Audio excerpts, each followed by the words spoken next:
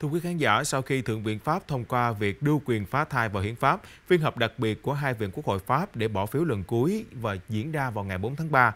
Động thái này được cho là sẽ vấp phải các luồng ý kiến trái chiều trong xã hội của quốc gia này. Phiên họp đặc biệt của Quốc hội Pháp do Tổng thống Emmanuel Macron triệu tập diễn ra tại Cung điện Versailles.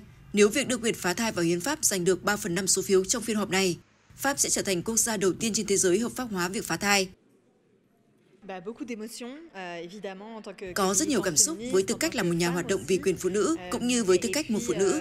Tôi hy vọng với sự vào cuộc của các nhà lập pháp cũng như các hiệp hội sau nhiều tuần, nhiều tháng, euh, thậm chí nhiều thập kỷ để đưa quyền cơ bản này vào hiến pháp. Phụ nữ cần có quyền kiểm soát cơ thể của họ. Các nhà vận động nữ quyền hy vọng rằng với việc đưa quyền phá thai vào hiến pháp, Pháp sẽ tạo ra được ảnh hưởng mang tính biểu tượng tới các quốc gia châu Âu khác.